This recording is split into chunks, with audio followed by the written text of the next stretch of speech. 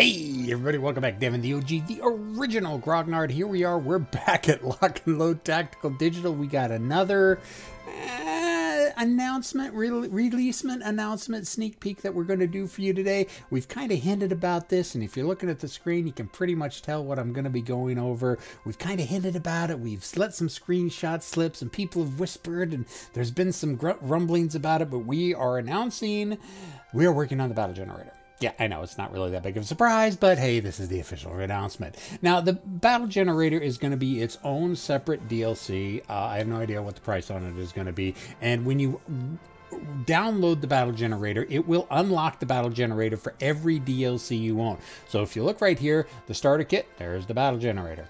Battles to the Rhine, Battle Generator. Days of Villainy, Battle Generator. Heroes in Defiance here's the Falklands, so on and so forth. So basically, if you have the battle generator, you're going to have it unlocked for all your DLCs that you have with us. Now, what can you do with the battle generator? Well, what you can do, and it'll be right up here listed up at the top, you can either do a single scenario or a campaign game, and then you can choose which side you want to be. And the cool thing is, well, you can choose which side aggressor. If you want to, you can do force on force, A team versus B team. So you can have British on British. You can have, you know, say Heroes of the Nam. You can have uh, Arv, or not the Arvin. Well, you could have the Arvin. Viet Cong versus the NVA. You can do whatever type of mixed up uh, mashup you want to do. We are working on on eventually including so you could like take Heroes of Normandy against Heroes of the Red Star. If you wanted to do that, that you're gonna be able to do that.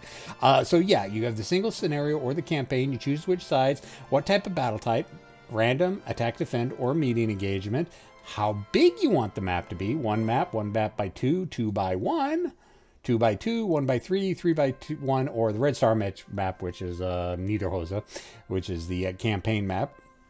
You choose that random extra points, random scenario special rules, used unit rarity, and then, you know, just a specific seed, seed just for, you know, randomizing on the computer side. Uh, and then you just basically go right into it. So let's take a real, real quick look at it. Let's go with uh, Heroes in Normandy, because I like Heroes in Normandy. We'll go 101st Airborne against the Germans. Random, uh, let's do with a meeting engagement. Let's do a single scenario. Sure, small 200 points. We can do 150, 200, 350, 500, or all the way up to 600. Let's go ahead and put the Germans on the computer. Now, we're not going to play it. We're just going to show you. Y'all know how lock and load tactical plays anyways. So we got it all set up. Single. If you wanted to do a campaign, uh, the campaign length it could be three wins, five wins, nine wins. I'm not going to tell you what's all involved with the campaign. You're going to have to find that out for yourself. Mainly because we're still working on a lot of the details and don't want to say too much because it may not show up in the final version. But let's just do a single scenario. Let's play the scenario and it will load up. And then, okay, so we've got meeting engagement, no real specific uh, forces yet. Uh, scenario, six turns. Uh, the Americans have the initiative on turn one. Victory conditions, VP comparison points for controlled marked areas. All right, so let's take a look at the map. Oh, look at that. This is the map. This is the meeting engagement, and so there's the victory point locations marked right there. And here is our entry area. So, okay, cool. So then we go into purchase units, and we put 200 points, but there's always a little bit of randomness in it, especially if you choose the option of, of bonus points. So we got 212 points. So these are all of our, these are our core units. These are our leaders. And then you've got other single man counters.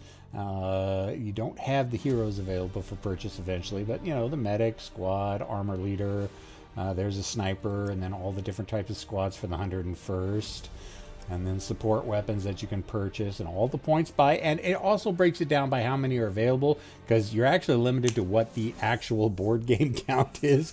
So yeah no 20 flamethrowers on your side. There's got the weapon teams then you've got all the vehicles that you want off-board artillery so let's go ahead. Let's take Lieutenant Michael, Major Tom, Sergeant Hill. That's 12, 24, 34 points. So let's go, actually, let's go ahead and take Sergeant Hill out of there. Let's go with squads. Let's go with three assault squads, uh, three regular squads, support weapons. Let's go with the flame, Flammenwerfen, a bazooka, and a bar. Weapon teams. Let's go with a mortar. Vehicles. We got 73 points. Uh, let's take. What do we want? Uh, let's go with. Let's go with. Uh, uh, M18. No, let's go with an M10. Let's go with an M10. That's 36 points. So we got 37 points. We get a second M10.